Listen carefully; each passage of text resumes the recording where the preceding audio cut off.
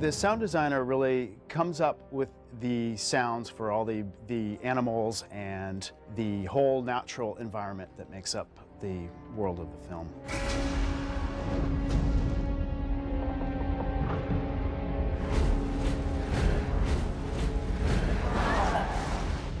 The ones where you sort of hear, you actually hear the human quality of the scream are good. Part of our sort of philosophy behind the sounds in this film was to have the sound effects really be as naturalistic as possible. And part of that involves recording sounds in, you know, outdoor natural spaces as opposed to in a studio. And that's been a little difficult in Wellington because it's a small, compact place and it's noisy. So it's tough to find outdoor spaces where you don't have airplanes and cars and people and all that.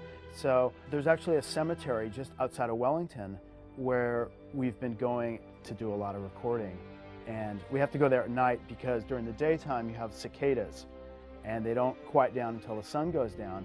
So we've been doing a lot of sort of recording of swords and um, bow and arrow and screaming in the cemetery and we've had to um, repeatedly like phone up the police in the area and say, we want to do some recording there tonight, so can you warn all the neighbors that if they hear screaming coming from the cemetery, it's just us.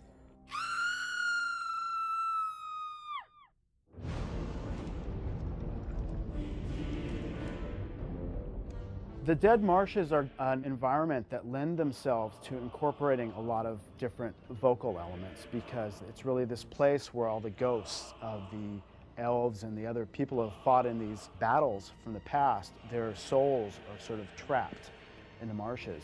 And so what we've done in terms of the design is all the sounds that we hear are vocal based. Again, it's these sort of like mud bubbles percolating up that are whispering so we can have sort of vocal whispers and things that are turned into bubbles, turned into wind, turned into, you know, different sort of mud, slurpy, sloshy elements. And then at certain points, as Frodo starts to be put into this trance, he's hearing the voices of these souls trapped in the dead marshes.